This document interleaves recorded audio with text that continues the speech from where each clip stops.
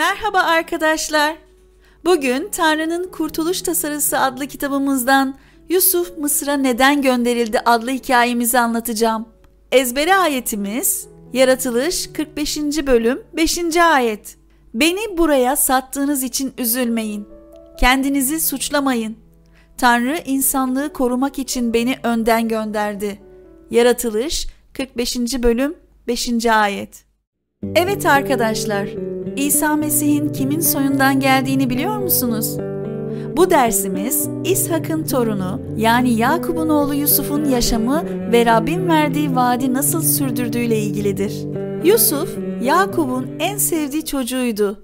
Bu yüzden üvey kardeşleri onu çok kıskanıyor, ondan nefret ediyordu ve bunun sonucunda da Yusuf'u sattılar. Yusuf köle olarak Mısır'a götürüldü. Potifar'ın evinde çalışmaya başladı ve bu zor zamanlarında Tanrı'ya güvenip umut bağlayarak her şeye göğüs gerdi. Rabbe güvenen Yusuf kendisine düşen her şeyi büyük bir özveriyle yaptı. Potifar Rabbin Yusuf'la birlikte olduğunu, yaptığı her işte onu başarılı kıldığını gördü. Potifar Yusuf'tan hoşnut kaldı ve onun evinin ve sahip olduğu her şeyin sorumlusu olarak atadı. Ama kısa bir süre sonra Yusuf haksız yere suçlanıp zindana atıldı. Haksız yere suçlanıp zindana atılmasına rağmen Yusuf umut doluydu. Çünkü Tanrı'nın kendisine yardım edeceğine inanıyordu. Bu yüzden Yusuf zindandayken de Tanrı'ya güvendi. Orada da insanlara örnek oldu. Birkaç yıl sonra Mısır'ın kralı Firavun bazı düşler gördü.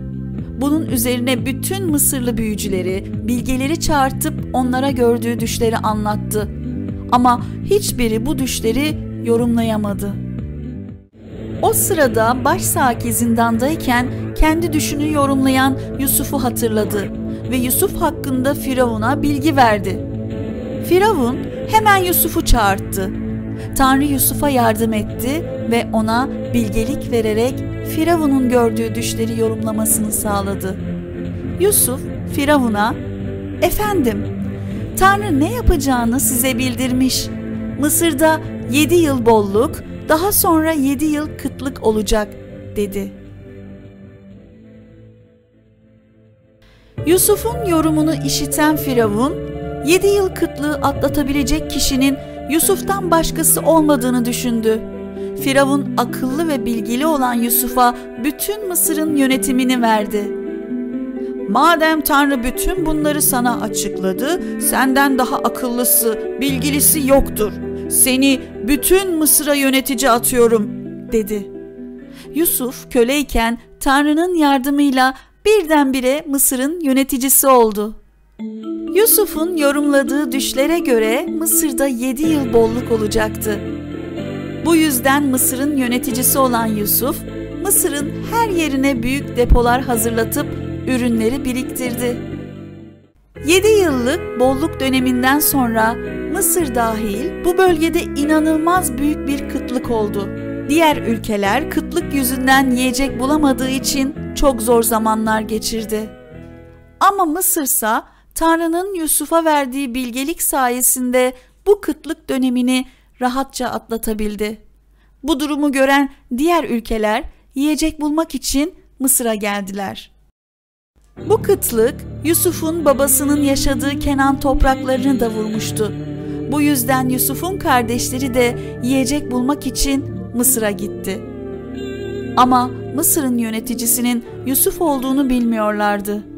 Yusuf'u 20 gümüşe satan kardeşleri bir gün onun karşısına çıktılar. Yusuf kendisini satan kardeşlerinden öç alabilir, onları cezalandırabilir ya da öldürebilirdi. Ama Yusuf bütün bunların Tanrı'nın bir planı olduğuna inandı ve kardeşlerini yürekten bağışladı. Kardeşlerini bağışlayan Yusuf onlara, "Beni buraya sattığınız için üzülmeyin. Kendinizi suçlamayın.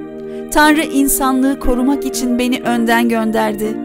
Çünkü iki yıldır ülkede kıtlık var, beş yıl daha sürecek. Kimse çift süremeyecek, ekin biçemeyecek.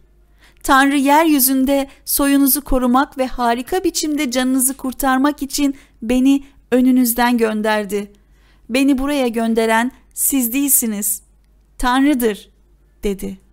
Aslında daha öncelerden Rab Avram'a şöyle demişti. Şunu iyi bil ki senin soyun yabancı bir ülkede gurbette yaşayacak. 400 yıl kölelik edip baskı görecek. Sonra soyun oradan büyük mal varlığıyla çıkacak. Soyunun dördüncü kuşağı buraya geri dönecek. Yaratılış 15. bölüm 13 ile 16. ayetlerde yazılıdır. Tanrı'nın bu sözü Yakup döneminde Yusuf aracılığıyla gerçekleşti. Yusuf babası Yakup ve ailesini Mısır'a getirip Goşen denilen verimli toprağa yerleştirdi. Evet arkadaşlar, Tanrı'nın kurtuluş planını nasıl sürdürdüğünü görüyor musunuz? Yusuf 13 yıl önce kardeşleri tarafından satılarak Mısır'a götürüldü. Ama sonunda oranın yöneticisi oldu. Aslında bütün bunların Tanrı'nın büyük planının içerisinde olduğunu görüyoruz. Tanrı Yakub'u ve ailesini hem kıtlıktan hem de çevresinden korumak üzere Yusuf'u önceden Mısır'a gönderdi ve Yusuf kardeşlerini bağışlayarak Rabbe şükretti. Bütün bunlar Tanrı'nın kurtuluş vaadini sürdürecek olan İbrahim'in soyunu korumak üzere Tanrı'nın tasarladığı bir plandı. Bu büyük planın ortasında Yusuf vardı.